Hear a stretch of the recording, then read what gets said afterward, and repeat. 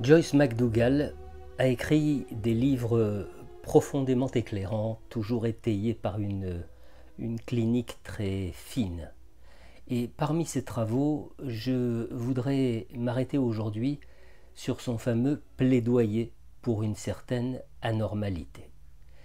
Ce livre nous renvoie en effet à une catégorie de sujets que nous accueillons dans nos cabinets et qui, davantage d'autres patients, nous parle avec évidence d'un mécanisme de gestion de l'angoisse qui peut apparaître a priori comme un mécanisme signe de santé, ce qu'il n'est pas. Je veux parler de ce mécanisme qui réside dans le besoin d'appartenir à une norme, pas n'importe laquelle, la norme dominante du moment. Le constat que nous faisons des thérapies, hélas souvent beaucoup trop courtes, de ces patients, c'est que trop de normes ramènent inévitablement à la pathologie. Alors voilà Jonathan, un homme de 36 ans, qui vient consulter par curiosité, hein, disant qu'il a été séduit par la série télévisée En thérapie, alors que ce genre d'approche n'est habituellement pas, dit-il, sa tasse de thé. Alors que vient-il chercher? Eh bien, une explication. Une explication à une dispute récente qu'il a eue avec sa compagne, laquelle se plaint de son état de passivité qui conduit leur couple à une banalité que le patient considère pour sa part comme étant la normalité. Qu'est-ce que nous allons entendre derrière cette conception de la normalité chez Jonathan Eh bien, nous allons entendre une trop grande normalité, un excès de normalité. Pour tout dire, une normalité anormale, euh, pathologique dans le sens où elle réduit misérablement la vie du patient et du couple dans toutes ses dimensions. Jonathan est un individu tellement euh, ancré dans la réalité euh, objective qu'il a perdu tout contact avec son univers subjectif.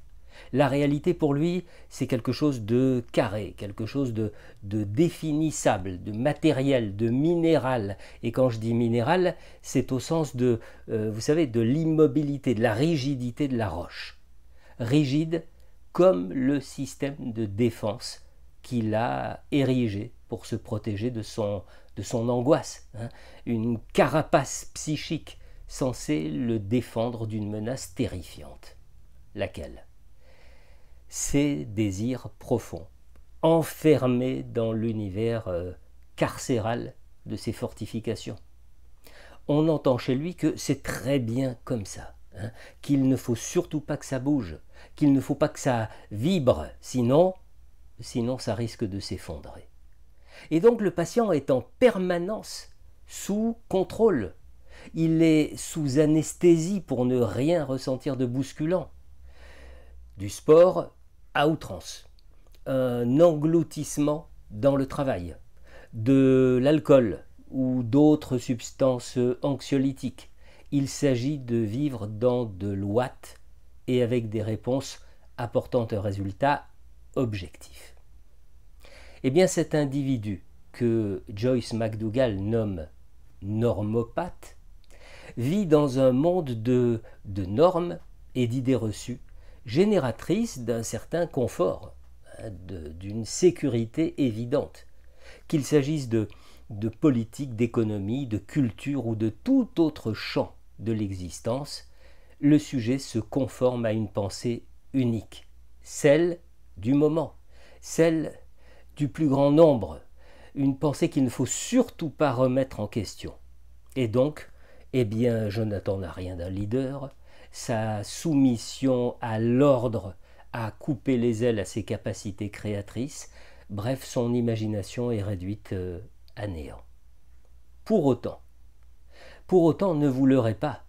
Vous diriez de Jonathan qu'il est plutôt heureux, que c'est un être euh, d'action, qui n'a ni gros soucis, ni gros défaut, ni état d'âme, ni questionnement existentiel, bref, c'est quelqu'un de lisse, c'est quelqu'un de tout lisse, sans relief, sans, sans aspérité, quelqu'un de sans histoire.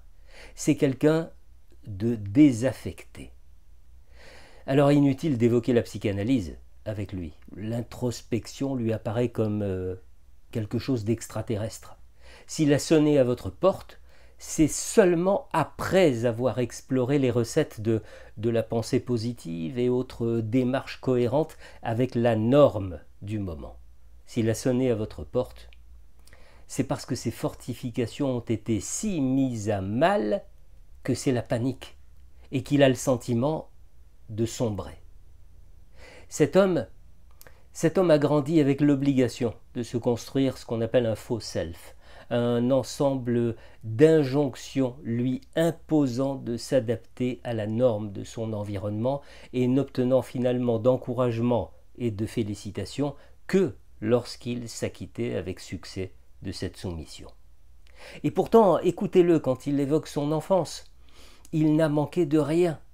La famille était stable, elle était bien structurée, certes, mais à aucun moment on entend dans les souvenirs du patient un encouragement à l'audace, une invitation à l'inventivité, à l'imagination, à, une vie euh, fantasmatique. Alors un travail analytique avec un tel patient est passionnant, à condition, à condition qu'il se déroule dans la durée, ce qui est rare chez un normopathe euh, toujours à la recherche d'une réponse rapide, concrète, objective, explicable. Seulement, si le transfert s'installe et que le patient s'accroche, alors, alors c'est une aventure fascinante que de ramener à la vie désirante un être dont le désir avait été étouffé.